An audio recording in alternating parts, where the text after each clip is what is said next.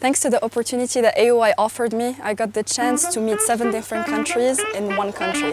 And this is my story.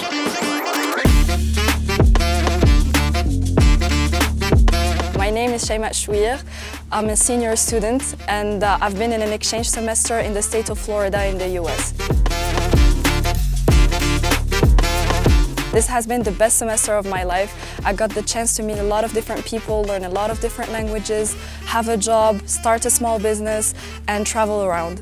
This helped me to expand my horizons, grow more as a person, and I'll always be thankful to AUI because I've been in a platform called ISEP, and Al Akhawayn University is the only Moroccan university available in that platform that will help you go around the world and in any continent you want, maybe sometimes with a scholarship. So in this opportunity, from Florida to New York to Chicago to Puerto Rico, I got the chance to wakeboard, skydive, uh, do all kind of crazy adventures and go on road trips with a lot of different people, a lot of different cultures. It has been really fun and eye-opening and I'll remember this for the rest of my life.